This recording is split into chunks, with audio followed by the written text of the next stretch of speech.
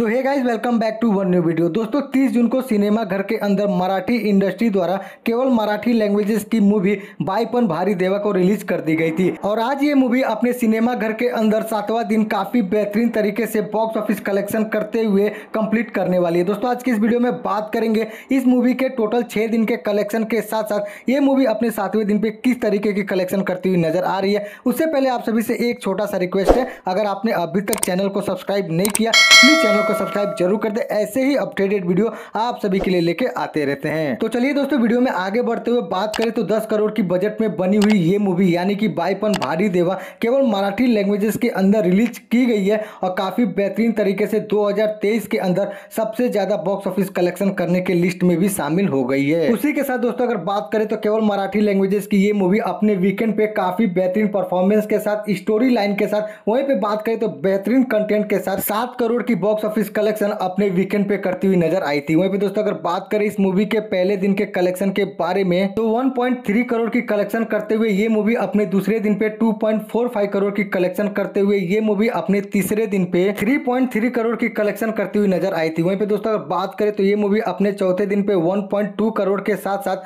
पाँचवें दिन पे 1.5 करोड़ की बेहतरीन कलेक्शन के साथ सिनेमा घर के अंदर भौकाल मचाती हुई केवल मराठी लैंग्वेजेस में नज़र आ रही है। और वहीं पे दोस्तों, अगर बात करें तो इस मूवी के बॉक्स ऑफ़िस कलेक्शन में थोड़ी सी उछाल देखने मिली और ये मूवी अपने छठवें दिन पे 1.84 करोड़ की कलेक्शन करते हुए काफ़ी अच्छी खासी कलेक्शन के साथ ये मूवी अपने सातवें दिन पे 2.18 करोड़ की बेहतरीन कलेक्शन करते हुए या फिर बोले 2.1 करोड़ की बेहतरीन उछाल के साथ कलेक्शन करते हुए सिनेमा घर के अंदर कलेक्शन करती हुई नज़र आ रही है। उसी के साथ दोस्तों बात करें तो केवल मराठी लैंग्वेजेस में रिलीज़ की गई ये मूवी अपने सात दिन में टोटल 13.77 करोड़ जी हाँ दोस्तों 13 करोड़ 77 लाख की बेहतरीन बॉक्स ऑफ़िस कलेक्शन अपने टोटल सात दिन में केवल मराठी लैंग्वेजेस के अंदर करती हुई नज़र आ रही है, जो कि काफ़ी बेहतरीन कलेक्शन के साथ भौकाल मचाती हुई नज़र आ रही है। तो दोस्तों, आज के लिए बस इतने इसी तरह के movies web series box office collection के लेटेस्ट और एक्यूरेट अपडेट से जुड़े रहने के लिए चैनल को सब्सक्राइब ज़रूर कर दे। मिलते हैं न्यू वीडियो में न्यू अपडेट के साथ। तब तक के लिए बाय बाय टेक केयर